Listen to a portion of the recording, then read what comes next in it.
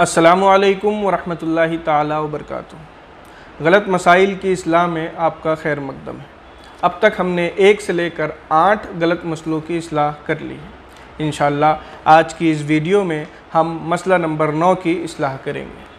आवाम में एक गलत फहमी ये फैली हुई है कि अगर उनके घर किसी का इंतकाल हो जाता है और उनके कुछ रिश्तेदार उनसे दूर रहते हैं, दूसरे सूबे में रहते हैं या दूसरे मुल्क में रहते हैं तो वो उनके आने तक का इंतज़ार करते हैं। वो मैत की तदफीन नहीं करते। वो इंतज़ार करते रहते हैं कि जब के मैत के, जब तक मैत के वो रिश्तेदार ना आ जाएँ, तब तक हम तदफीन नहीं करेंगे कि आखिरी मरतबा वो मैत का मैत की ज़ियारत तो कर ले। ये मसला बिल्कुल भी गलत है। किसी के इंतकाल के बाद उसकी तदफीन करने में बिल्कुल भी ताख़ीर नहीं करनी चाहिए।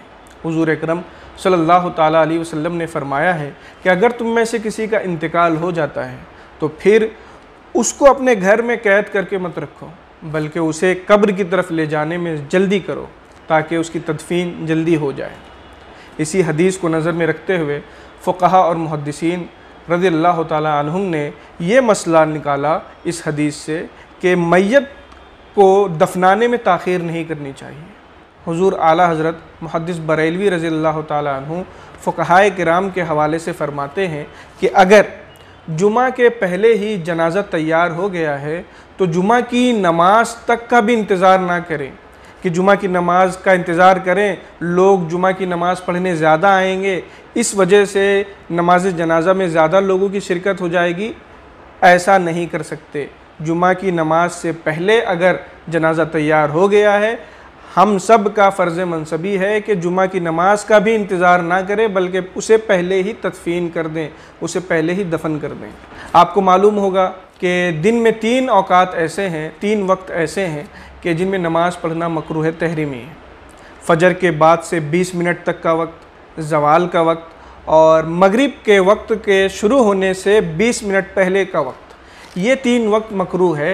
इन अवकात में नमाज़ पढ़ना मकरू है, तहरीमी है। लेकिन फ़ुकहा और मुहदसिन फरमाते हैं कि अगर इन अवकात में भी जनाजा आ गया तो बिला तखिर नमाज़ जनाजा पढ़ लेनी चाहिए, ताकि तदफीन करने में तख़िर ना हो। तो देखा आपने, जब हम ज़्यादा लोग जमात में शरीक हों इस नीयत से भी नमाज़ जनाजा को मौखर नहीं कर सकते, लेट नहीं कर सकते, तदफीन में लेट नहीं कर सकते, बल्कि अवकात मकरूहा होने के बावजूद नमाज़ जनाजा पढ़ने का हमें हुक्म दिया गया है। तो भला बताइए कि हम किसी एक रिश्तेदार की वजह से नमाज़ जनाजा में और तदफीन करने में क्यों ताख़ीर करें? ये बिल्कुल भी जायज़ नहीं है, ताख़ीर नहीं करनी चाहिए। मैंने शुरू में ही बताया कि हुजूर अकरम सल्लल्लाहु अलैहि वसल्लम ने फरमाया है कि अगर तुम में से किसी का इंतकाल हो जाए तो उसे अपने घर में कैद करके मत रखो, बल्कि उसे दफन करने के लिए जल्दी करो। बाज़ जगह तो ऐसा किया जाता है कि एक एक, दो दो दिन, तीन तीन दिन उसे फ्रिज में बर्फ़ के अंदर मुर्दों को रखा जाता है। ये कितनी ईज़ा देने की बात है, तकलीफ़ देने की बात है मुर्दों को। क्योंकि रिवायतों में आया है कि जिन चीज़ों से जानदार को तकलीफ़ होती है, उन चीज़ों से मुर्दों को भी तकलीफ़ होती है। क्या आप में से कोई ये गवारा करेगा कि दो दो दिन तीन तीन दिन बर्फ़ में वो लेटा रहे? नहीं ना। तो फिर अपने मुर्दार को, अपनी अपने मैत को जो इंतकाल कर चुका है, उसे आप कैसे गवारा कर सकते हैं कि वो दो दो दिन तीन तीन दिन तक उसे बर्फ़ में रखा जाए?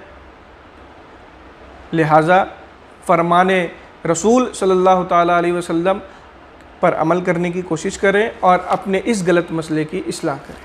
उम्मीद करता हूँ कि ये वीडियो देखने के बाद आप लोगों को भी बताएँगे कि दफन करने में ताख़ीर करना ये जायज़ नहीं है और ख़ुद अपने यहाँ अगर किसी का इंतकाल होता है तो भी आप इस पर अमल करेंगे और तदफीन करने के सिलसिले में किसी भी तरह की कोई ताख़ीर नहीं करेंगे। असलकम वरहमल ताली वर्का